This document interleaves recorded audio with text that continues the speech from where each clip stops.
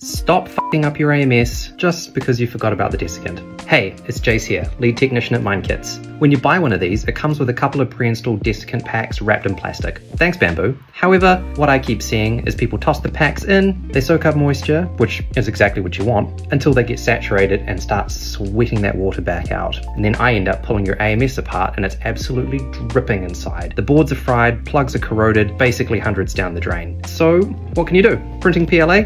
Just ditch the desiccant. Printing nylon or PETG? Set a reminder in your calendar to check it. Don't rely on memory. Ideally, keep your humidity below 50%. If you're up over 70, just replace it or bin the desiccant. Save yourself the repair bill. Either put a system in place to monitor it, or just leave it out of there altogether. Water and electronics, not friends. Anyway, if you're working on a cool project, check out our Discord community to catch up with some like-minded makers from all over NZ. Happy printing!